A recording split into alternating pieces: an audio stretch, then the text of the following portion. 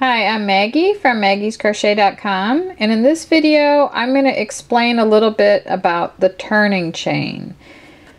The turning chain is a crochet step to keep your work even on the sides of the rows. Since crochet stitches vary in height, your turning chain will be different multiples of chains.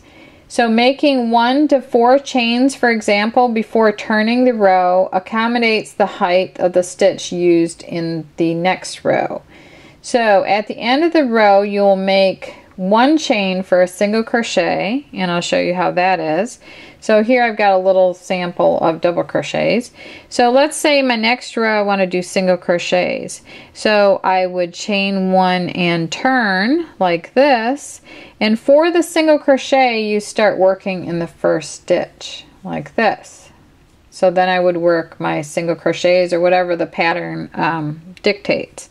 So let me go back here and let's say this row I want to do half double crochets or some other the pattern just says chain two turn.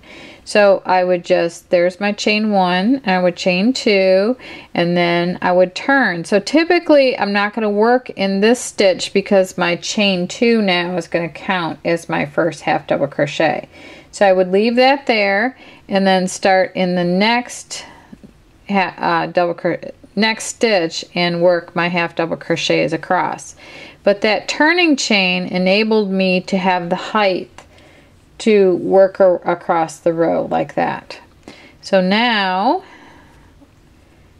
if you wanted to do another row of double crochets here, typically the double crochet height is a chain three. So you the turning chain is a chain three so you wait till you get to down to the end of the row and you chain three and then you turn and you don't work in the first stitch here and you work in the next stitch like this.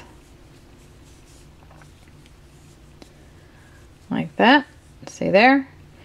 And then I'm going to show you a little trick that I do. Sometimes I do I, every time I do the chain one and I single crochet in the first stitch. But a lot of times I chain one and I go ahead and I work a half double crochet in the first um, stitch. I don't skip it because it's more like a real stitch there and it's more solid on the end. It doesn't give you that little gaping space. So sometimes I do that and even with a double crochet I will get to the end here and I'll make a really loose chain one chain and I will turn and I will raise this up and work a double crochet in the first stitch. So I don't have it's a little bit thicker than a than a regular double crochet but it makes a nicer finish on the side of the row. So I just thought I'd teach you that little trick. Now back to the chains. Um, let's say you were doing a trip treble or a triple they call it. I was trying to combine both. Then typically they assume that you know that you skipped this one and you would yarn over twice and then see when you do a triple crochet that chain is the same height as your triple crochet. So like that. So that is how you do the turning chain. So I hope that this helps you to master the art of crochet and find more enjoyment in it.